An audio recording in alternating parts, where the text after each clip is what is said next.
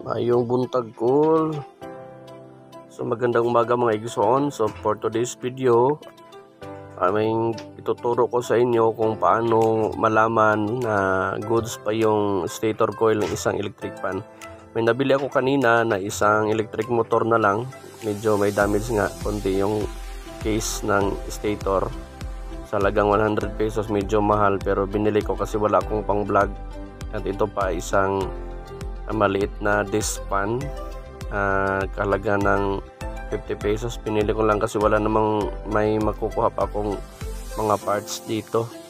So, ngayon, kung gusto mong malaman kung paano talaga uh, alamin how to test uh, kung goods pa ba yung intact pa ba yung coil sa station ay ituturo ko wag kang uh, ang mahalaga kasi yung coil ay intact pa so panoorin nyo ng buo ang video to and kung bago ka lang sa aking channel please don't forget to uh, click the subscribe button and hit the notification bell para lagi kang updated sa susunod nating mga video So dito gagamit tayo ng uh, multimeter. Set natin sa times 10 sa resistance yan.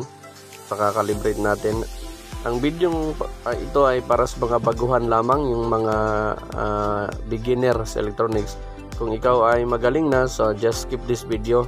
Hindi ito para sa iyo, kaibigan. So ang gagawin mo, balatan mo ng konti yung uh, ano yung dalawang wire ng kapasitor yung kulay itim at saka yung kulay pula yan hanggang sa makita mo yung copper at yan test mo pag goods talaga yan makita mong may reading mapansin nyo yung tester so uh, walang putol yung coil may chance pa so dito tayo ito yung diagram na tinis natin to yung terminal ng kapasitor yan So, ibig sabihin, pag na-test mo yung dalawang terminal na yan, at may reading ang yung multimeter, so nare-reading niya ang buong coil ng isang electric fan.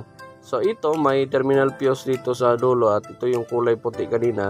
Yan ang tinatawag nating common. So, sa susunod nating video, ituturo ko sa inyo kung paano malaman yung uh, tatlong wire na yan, yung tinawag nating low, medium, high. So, thank you for